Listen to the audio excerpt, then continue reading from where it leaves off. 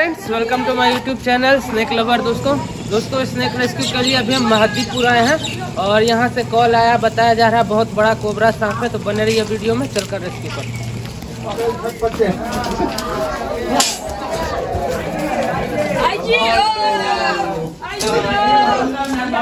हम सब के बीच यहाँ पर बड़का ब्लैक मामा कोम्बो आया हुआ है। थोड़ा शांत बनाइए।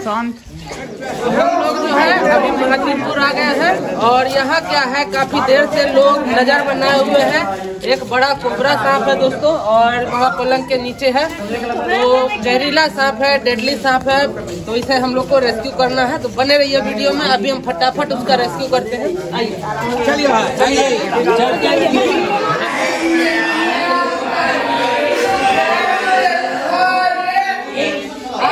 से क्या किए अंधकार के कर दे लेकिन आपका इंतज़ार कर रहे हैं। ये तो मेरे साथ हम क्या करते दुश्मन है तो क्या करते उसको? दुश्मन है तो क्या करते उसको? बता रहे हैं ये सांप जो है इनका दुश्मन है सांप दुश्मन नहीं है। अभी हम समझा देते हैं हम लोग छोड़िए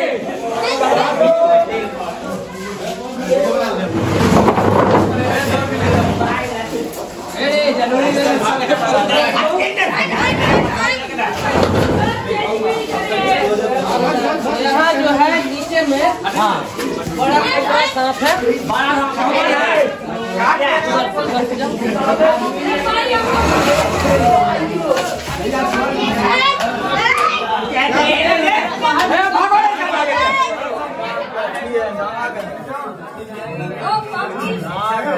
देख सकते हैं यही है कोबरा सांप दोस्तों। इसको देख कर यहाँ सभी लोग काफ़ी हुए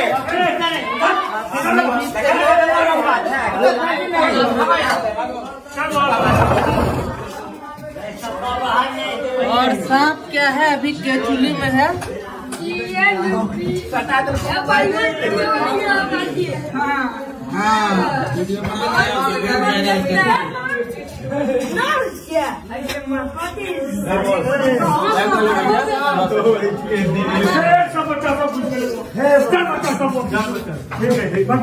तो इससे देखकर लोग काफ़ी डरे हुए थे देख सकते हैं ये फन फैला रहा है दोस्तों।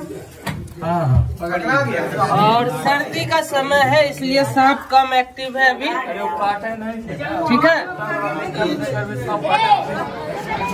चलिए दोस्तों इस सांप को लेकर हम लोग चलते हैं बाहर।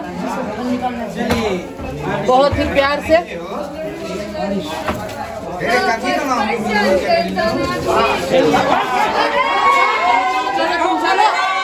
आपका जीवन बकस दिया गया है महादेव। चाहिए चाहिए भोलेनाथ सबके बाहर आनंद कीजिएगा सब बाल बच्चा का। बकस दिया गया आपका। हाँ?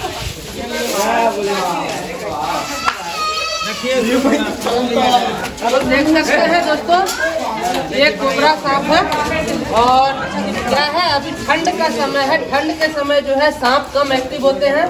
जल्दी बाइट नहीं करते हैं। दूसरा दूसरी बात यह है कि आप देख सकते हैं अभी इसकी आँखों पे एक नीला रंग का पर्दा है। ये इसकी आँखें थोड़ी नीली हो रखी है। इसका वजह ये है कि यह सांप अभी अपनी केचुली में है और जब सांप अपनी केचुली में होते हैं तो सांपों का आँख जो है थोड़ा दूधियापन हो जाता है उसमें और इन्हें ठीक से दिखाई नहीं देता। है और सर्दी का समय है सांप अक्सर निष्क्रिय रहते हैं हाइबरनेशन में रहते हैं और जहरीला सांप है।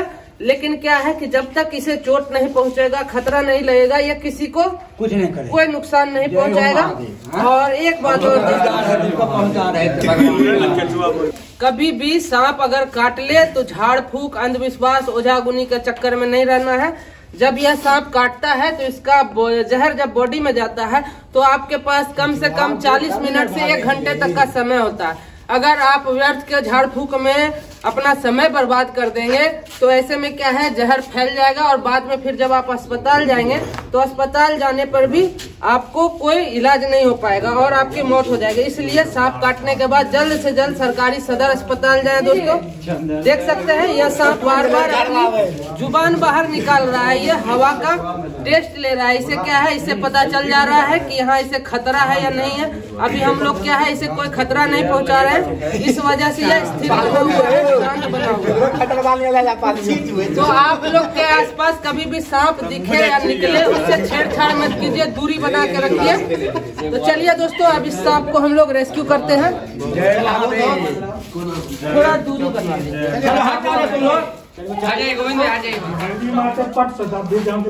पकड़ने का तरीका होता है जितना आराम से पकड़े हैं ना हम इसको कोई खतरा नहीं लग रहा है इसलिए मूवमेंट नहीं दे रहा है। वहीं इसको खतरा लगेगा तो अब भी एक्टिव हो जाएगा। तो चलिए दोस्तों इस सांप को हमने रेस्क्यू कर लिया है। इसे हम लोग डब्बे में पैक कर लेते हैं। फिर इसे ले जाकर हम लोग जंगल में रिलीज़ कर देंगे। जय महादेव आज आपका पूर्णिमा दिन। मोक्ष हाँ मिल गया महादेव। हाँ कितना दिन में तो चल गए रहते महादेव। है। वीडियो पसंद आएगा। मिलते हैं नेक्स्ट ज़रूर ना भाई आपको तो एकदम बजा इंतज़ार कर रहे थे हम लोग हाँ जय महादेव